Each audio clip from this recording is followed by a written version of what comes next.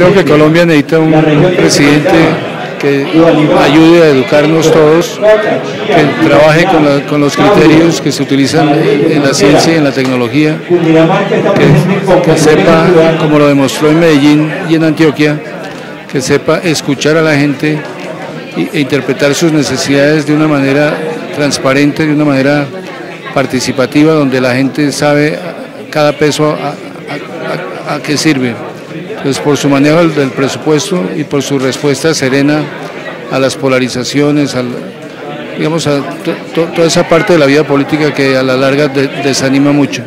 O sea, cero insultos, cero provocaciones, dedicación al trabajo, capacidad excepcional. Creo que es muy, pues yo hace 10 años prácticamente lo, él fue mi fórmula. Ahora han pasado los años y le toca a él ser el presidente, el titular. Profesor, si usted llega al Senado, ¿cómo va a promover la pedagogía ciudadana? Porque sabemos que en algunos de sus gobiernos ha sido un fuerte. Bueno, las leyes es muy importante que se publiquen, pero deben además ser explicadas y comprendidas. Y solo después de eso se puede decir cúmplase. Si la gente comprende las leyes, las obedecerá más fácil. Ahora, la otra ayuda es no condicionar la, colaboración, ayudar al gobierno nacional a cambio de nada, no andar pidiendo favores a cambio de apoyos. La clase política tiene que volverse toda una servidora del país y tiene que ser más altruista. ¿En qué espacios usted cree que beneficiaría a nuestro país esta eh, cultura ciudadana? Pues creo que el tema ambiental es un tema en buena parte de cultura, creo que el tema de respeto a las mujeres es un tema de cultura y creo que la valoración de una educación de alta calidad es también un tema de cultura ciudadana. Si queremos ser mejores ciudadanos, y mejores profesionales, tenemos que mejorar la calidad de la educación. ¿Usted qué piensa en este momento del proceso que se está llevando con las FARC de paz? Pues afortunadamente se firmó la paz.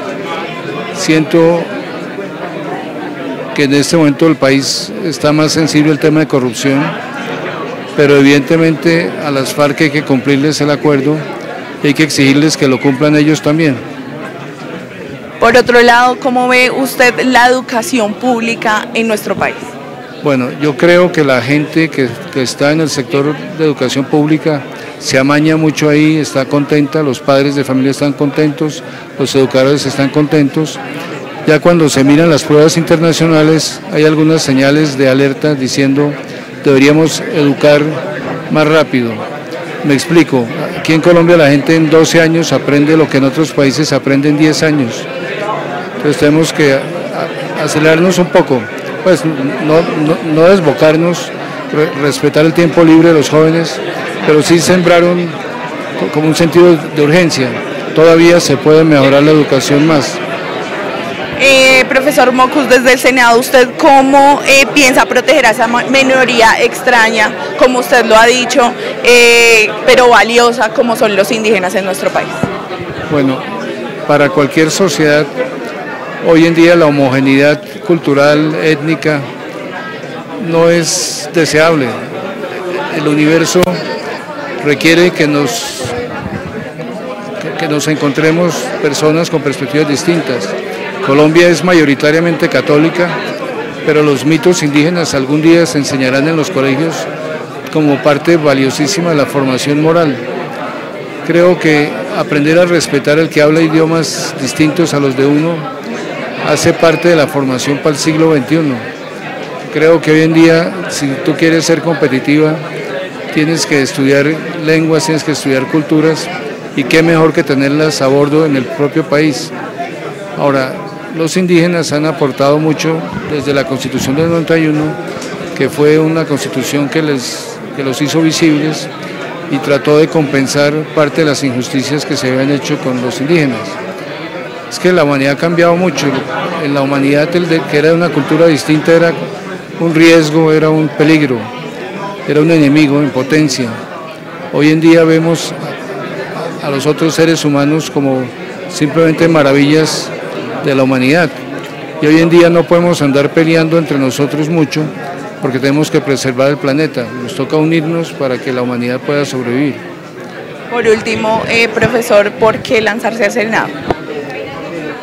El Senado es un lugar muy respetable, pero que en Colombia es muy mal visto y eso debilita a Colombia.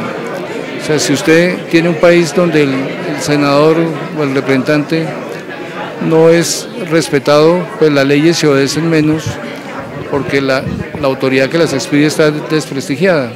Si nosotros logramos elevar la confianza del Congreso, elevar el respeto que le tiene la gente al, Congreso, será más fácil cumplir las leyes. Y la vida de los mismos congresistas será como más defendible, como más admirable. Yo creo que eso se puede hacer en cuatro años, duplicar la confianza en el Congreso. Señor, entonces un mensaje para todas las personas de Facatativa y toda la Sabana de Occidente que nos están viendo a través de Más TV Canal 3. Bueno, Faca y, Sabana de Occidente, yo me descolgaba desde Boyacá hacia Cachipay, desde Subachoque a, a San Francisco. Entonces tengo esa región como en la memoria por el lado de las caminatas y las acampadas.